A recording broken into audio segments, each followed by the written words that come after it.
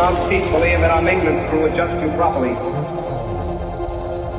You don't remember from one experiment to the next. It'll be quite painful. You don't come out peacefully.